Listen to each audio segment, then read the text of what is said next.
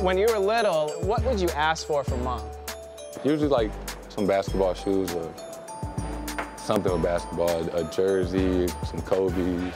Some Kobe's, that's right. Yeah, uh, so I was a Laker fan. I used, I used to hate the Celtics. You used to hate the Celtics? Yeah, when they beat when they beat the Lakers, 2008, I cried. Oh, dude, I know what you could buy me. By you? Why not?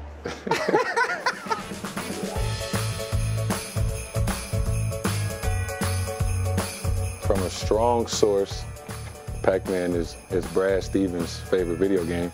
Coach's game? So I could get him this, Boom. get some more playing time. Got a sled, so I Oh, could yeah. take the little man's sled. And What's the best thing about being a dad? I guess right now he's still young, so just to see him develop from month to month and, and see him take his first steps, see him say, Dad, Dad, you know, you start to see what parenting is all about. You ever see what it is? I used to know how to play the piano. Nuh-uh. this is the playoffs last year. You're Mr. Clutch.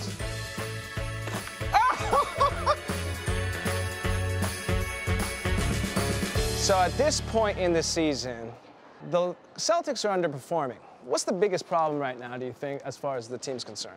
You know, we kind of let the attention get to our head, um, and we haven't been as consistent as we would like to be. But uh, it's a long season, and uh, you know we're gonna figure it out. What do you want to accomplish? You know, I want to win a championship. I want to be MVP. I want to be an All-Star. I want to be like the next Paul for the Celtics. Like spend my whole career here. You know, have the city of Boston love me because as they love Paul Pierce in Boston.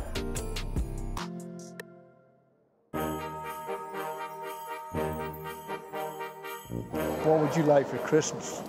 What I would like for Christmas is for the Celtics to win the championship this year. I think that's it. I think I got everything else I need. Happy holidays!